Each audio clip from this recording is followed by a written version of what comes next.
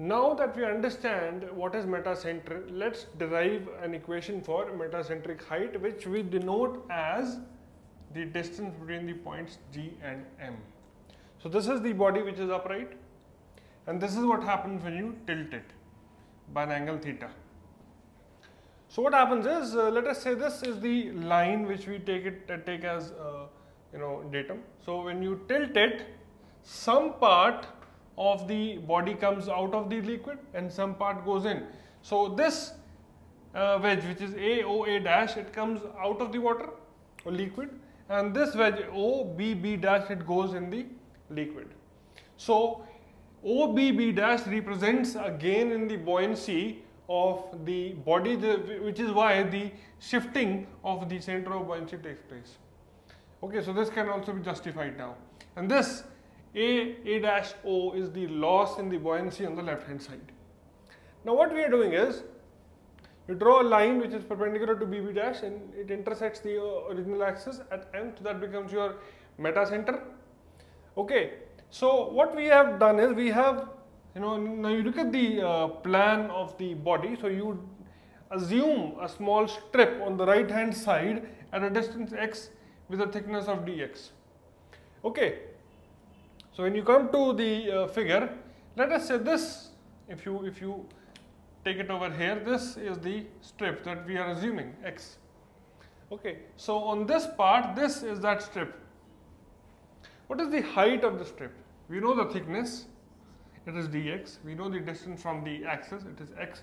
What is the height? So let us assume, let, let me zoom on, uh, zoom on uh, this part. So you will have like this. So this is let us say height of the strip and this is theta and this is x. So let me assume that this height is very small. So this means this will also be x. So the height of the strip, the height of the strip this will be equal to x into theta. If you've got the height, uh, what would be the area? The area would be height into, so if this is the height, if I multiply that with the uh, thickness, that is dx, I will get the area. So your area of the strip, area of the strip is x into theta into dx. What would be the volume? Volume would be area into length. So this is the area. If you go towards the you know z axis, you will get your length. So this is your length in the plan. So volume of the strip. This is x into theta into L into dx. Okay. If I talk about if I talk about this part which is uh, you know the weight so weight of the strip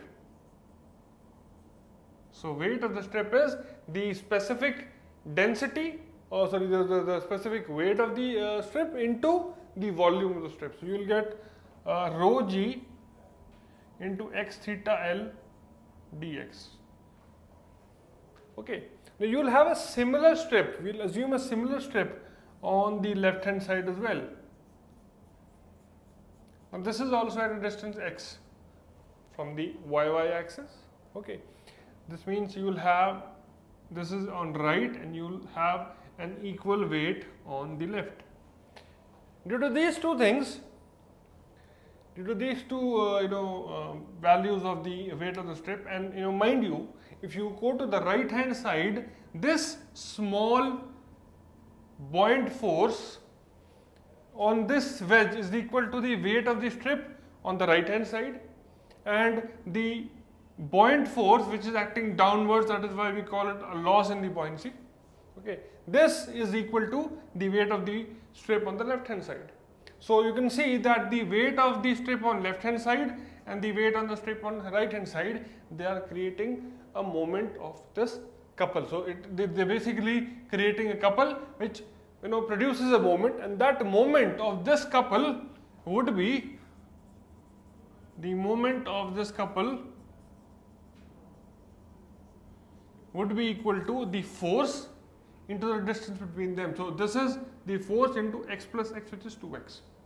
So you will get uh, 2 into x, you will get square because it already has an x over there, rho g into theta into L dx.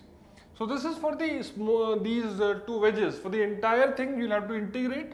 So you'll have the total moment.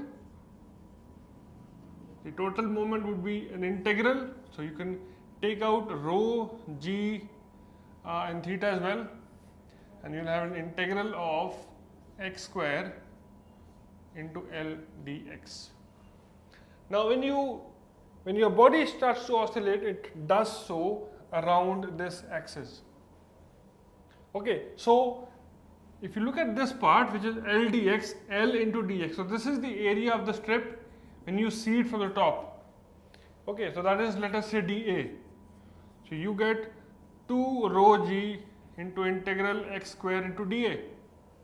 So 2 into integral x square dA is the moment of this area about the y-y axis. So because we have two areas, I'll have 2 taken as well.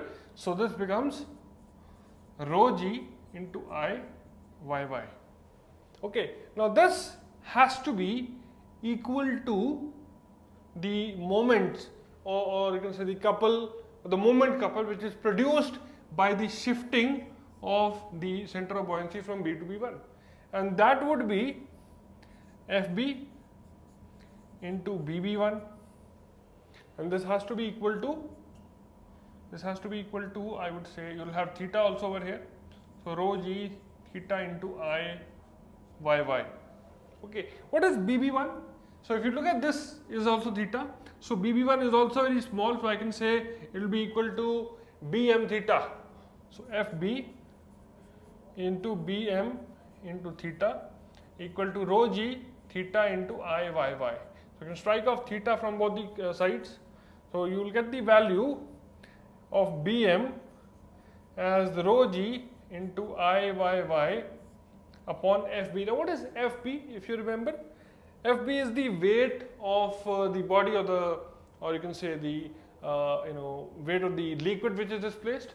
So weight of the liquid displaced would be the specific weight into the volume of the liquid displaced. So you can strike off this part or this is also the volume of the immersed part of the body. So your BM is IYY upon the volume of immersed part of the body. Okay, I don't need BM. I need GM. So I have the entire distance BM. Now what is GM? GM would be then, if I write it down over here, GM would be Bm minus Bg. Now Bg is very easy to calculate because it is the distance between the center of gravity and the center of buoyancy. So you can easily track that. So the value of Gm would then be equal to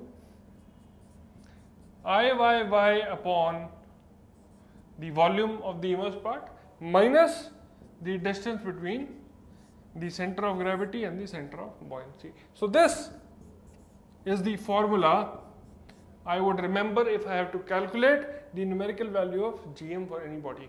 So I hope you got this. Now let's look at a numerical application of the concept of metacentric height in the next video.